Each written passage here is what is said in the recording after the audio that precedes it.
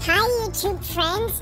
It's me, Tina, Tina the Triceratops. And today, Dot Dot Toys and I are going to be teaching you about me, the Triceratops. You'll hear from me, Tina, and I'll also have Dot Dot sometimes put up pictures of me as well. And I'm going to teach you 10 really neat facts today all about the Triceratops. I bet some of these facts you have no idea about.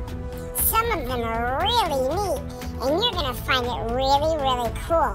So keep watching and learn all about me, Tina the Triceratops. The first fact is, did you know that the name Triceratops means three-horned face? Triceratops is widely known for our large head with three horns.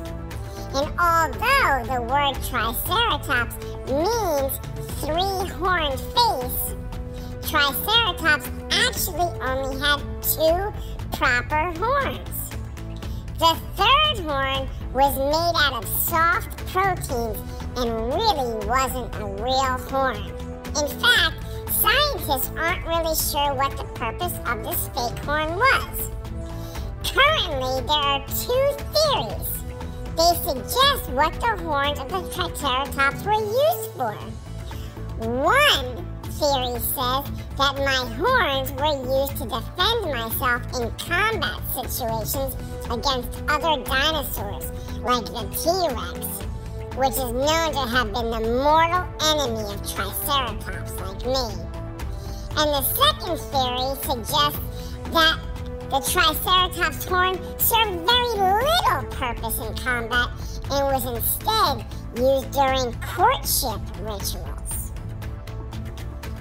Fact number two. The large bony plate around Triceratops' neck is called the frill. The Triceratops frill covered my neck and shoulders and was edged with bony knobs. Its main function was to protect my neck and my shoulders during an attack. However, scientists think it may have had other uses too. The area beneath the skin of my frill was heavily vascularized. That means it was covered with blood vessels which means that Triceratops could have flushed it with blood, making it change its color in the same way humans do when they blush.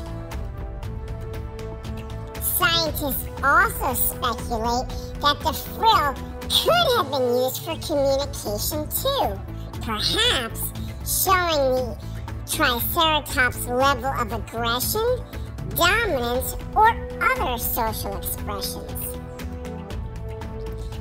Here's fact number three. Triceratops could weigh anywhere between 6 to 12 tons.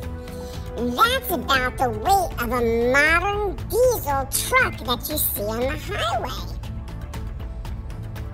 Here's fact number four. Triceratops measured over 10 feet in height from their feet to the top of our backs. That's as tall as a first-story building or as tall from the floor to the rim of an NBA regulation basketball rim.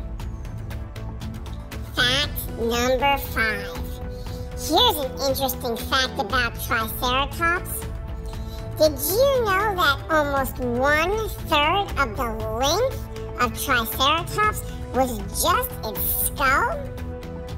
A typical Triceratops was approximately 26 feet long, or 8 meters, and my skull was approximately 7 feet long, or 2.3 meters in length. That's pretty big. Number six. One of the lesser known facts about Triceratops and dinosaurs like me is that we had hard, bird-like beaks, and we could rip off hundreds of pounds of tough vegetation every day so that we could eat. Here's fact number seven. Triceratops have approximately 400 to 800 teeth during the course of our lifetime. However, we didn't use all of these teeth at once. It was constantly replacing them throughout our entire lifetime as they wore out. Here's fact number eight. Triceratops like me were herbivores, meaning we only ate plants. We didn't eat animals or other dinosaurs. We didn't eat meat at all. We probably ate many different varieties of plants and may have used our large bulk and strength to knock down trees in order to get at leaves like current day elephants do. Fact number nine. It is believed that Triceratops, like me, lived during a portion of the Cretaceous period around 70 million years ago. Wow, that's a long time ago. And fact number 10. Along with other fellow plant eaters or herbivores, the Triceratops like me were doomed by the loss of our accustomed food vegetation as the clouds of dust circled the globe because of the KT extinction catastrophe which blotted out the sun. All the vegetation started to die, which means all of the plants and trees started to disappear, and herbivores like Triceratops and others started to die due to lack of food.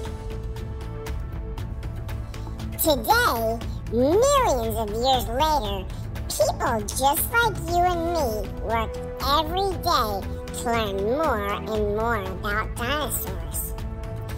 Scientists that study dinosaurs are called paleontologists. And today, you were just like a paleontologist, learning and discovering interesting facts that made you learn more about the Triceratops. So we hope you enjoyed watching this video and learning all about me, the Triceratops. And if you like this video, I have a five second challenge for you. I want you to click that subscribe button if you haven't already subscribed and hit that bell notification to find out when we post new videos. Ready? Let's do it in five seconds. Let's go.